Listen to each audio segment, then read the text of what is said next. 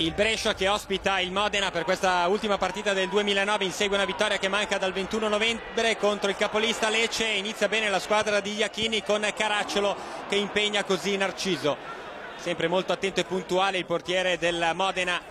Modena che prova ad agire di rimessa in contropiede. Guardate cosa si mangia Bruno a tu per tu con Arcari. Cerca di superarlo è bravissimo il portiere del Brescia a non tuffarsi e a vanificare così questa occasione, la più grossa del primo tempo per la squadra di Apolloni. Brescia che ci crede e prova ad attaccare con maggiore insistenza.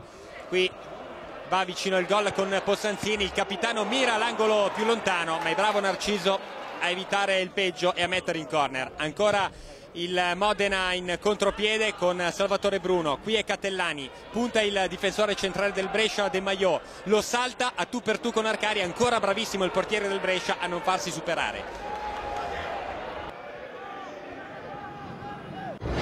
Si va a riposo sul punteggio di 0 a 0 la partita fatica a decollare. Nel secondo tempo ancora il Brescia. Guardate cosa para Narciso con un po' di fortuna. Il pallone di Caracciolo sul secondo palo e la grande parata del portiere del Modena. Modena che va vicino al vantaggio con questa grande punizione di Bruno il pallone che però si stampa sul palo. È fortunato in questa circostanza Arcari sempre agitato in panchina Iachini che si gioca molto in questa occasione dopo le critiche del presidente Corioni. Brescia che sfiora ancora il gol con Possanzini, Caracciolo e Lopez. Il tocco di Possanzini manda fuori giri gli altri due il pallone finisce praticamente in curva il minuto decisivo è praticamente il 34esimo esce, esce Possanzini, entra Flachi.